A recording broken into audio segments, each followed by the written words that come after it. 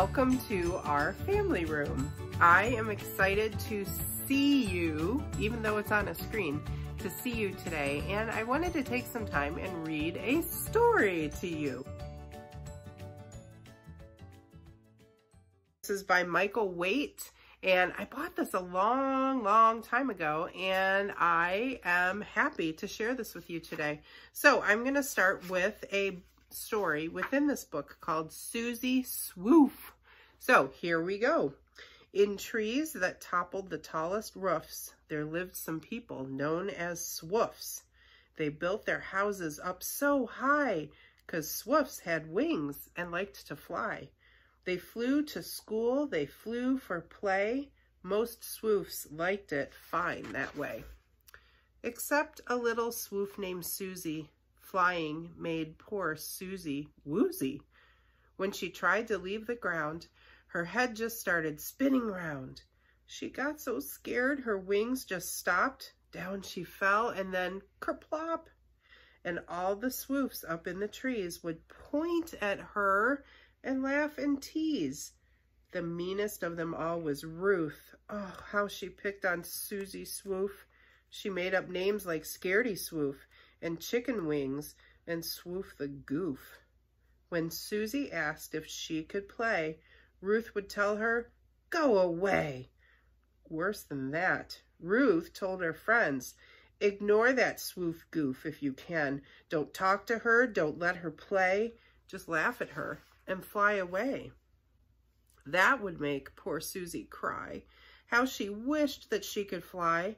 The other swoofs had so much fun. They had friends, but she had none. And since she was afraid to fly, she couldn't have a house up high. Her little home was on the ground, all alone, but safe and sound. There came a cloudy summer day when all the swoofs went out to play. Susie heard some swoof kids say, Let's pack a picnic lunch today. We'll lie on blankets in the sun. We'll play some games. Won't that be fun? Then Ruth saw Susie down below. She didn't even say hello. Instead, she shouted, Scaredy swoof! And they flew over Susie's roof. Away they went across the sky, leaving Susie Swoof to cry. Feeling lonely, sad, and sick, she gave a little stone a kick and started walking toward the woods. She thought a walk might do her good. She went to where the meadow lies when something took her by surprise. There they were, all in a bunch, the swoof kids with their picnic lunch. They laughed and danced and played swoof tag. They played swoof ball and snatched the flag. Susie watched them from the woods. She would have joined them if she could, but Ruth was out there, mean old Ruth, and she'd be cruel to Susie Swoof. So there she stayed, beneath the trees, peeking through the twigs and leaves. Suddenly, across the sky, a big black cloud came rolling by. The sky grew darker than the night. It gave the swoof kids quite a fright. The giant trees began to sway. The swoof kids packed their things away. The raindrops fell, the wind grew strong. They tried to fly, but not for long. The stormy sky just spun them round and sent them tumbling to the ground. Down the pounding raindrops poured, lightning cracked and thunder roared. The little swoofs just sat and bawled, and mean old Ruth bawled worst of all. But Susie Swoof was not afraid. She liked to play out in the rain. She put her big rain bonnet on and ran across the meadow lawn. She helped the swoofs up cheerfully and shouted, Come on, follow me. Underneath the stormy sky, they ran to Susie's house to dry. She lit a fire and brought them tea and made them toasty as could be. But still their tears went on and on. You're safe, said Susie. What is wrong? We're safe, sniffed Ruth, but now we're sad. You've been so kind, but we've been bad. We've called you awful, horrid names. We never let you play our games. And now you've saved us from the storm. You gave us tea and made us warm. Please forgive us. If you can, we'll never be so mean again. This made Susie Swoof so pleased, she gave them each a giant squeeze. I forgive you, Susie said. She smiled until her cheeks turned red. From that day on, the Swoofs were kind, and Susie wasn't left behind. They made up games that she could play, and many, many friends were made. Best of all was mean old Ruth. She now was kind to Susie Swoof. She even made an all-out try at teaching Susie how to fly. She failed, of course, but in the end, they became the best of friends. Isn't that a great story?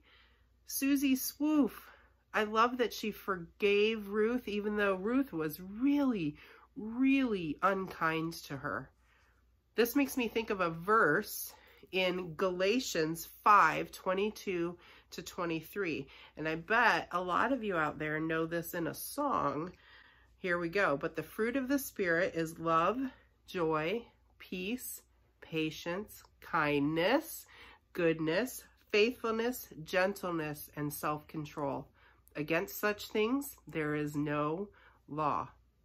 Now, we are in an interesting time right now, and I bet you are spending a lot of time at home, maybe a lot of time inside. For those of you that have brothers and sisters, you're spending an extra amount of time with them. And I think this lesson is really good. It's a good reminder for all of us of the importance of being kind to others. And now is the best time for us to practice kindness with our families. So I have a challenge for you. I want you to think and pray about how you could do one kind thing for everyone in your house within the next couple days. Did you get that? One kind thing for everyone in your house. Mom, dad, brothers, sisters, maybe even your pet. One kind thing for everyone in your house today. And then you might even feel like expanding that and doing a kind thing for a neighbor. Hmm, I wonder what you're going to come up with. I bet it's going to be awesome. Let me pray for us, okay? Dear God, thank you so much for this story that we've been able to read today. Thank you for the reminder of forgiveness, first of all, and also the reminder to be kind to others. Lord, I ask your blessing on every family, every kid, everyone that's watching this. And Lord, that you would give us your ideas on how to show kindness to others. Lord, thank you for the rest of your fruit of the Spirit too. This may be a time when we especially need lots of patience and self-control. Lord, thank you that you are the one that can give you the, give us those things. All we need to do is ask. In Jesus' name we pray. And all God's children said, Amen. Have a great day.